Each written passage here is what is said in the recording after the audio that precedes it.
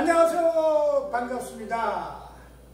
오늘은 9월의 마지막 밤, 10월의 마지막 밤이 있지만 9월의 마지막 밤, 오늘은 9월 30일, 여기는 울산 광역시 신정동에 있는 아주 멋진 음악실입니다.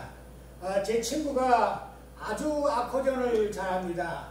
잘해서 참 평소에 같이 할 시간이 없어서 우리 한기봉 씨하고 큰용이 오늘 9월의 마지막 밤을 보내면서 주옥 같은 노래 여러분들이 평소에 연주를 많이 하는 곡또 자주 들을 수 있는 곡 국민가요를 우선 먼저 어, 선정해서 아코디언 한기봉 씨, 큰용 예술단장과 함께 합주로 보내드리겠습니다.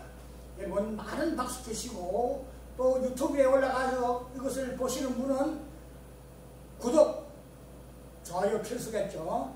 그렇게 주시면 감사하겠습니다. 자 지금부터 저희들이 준비한 음악 들어가겠습니다.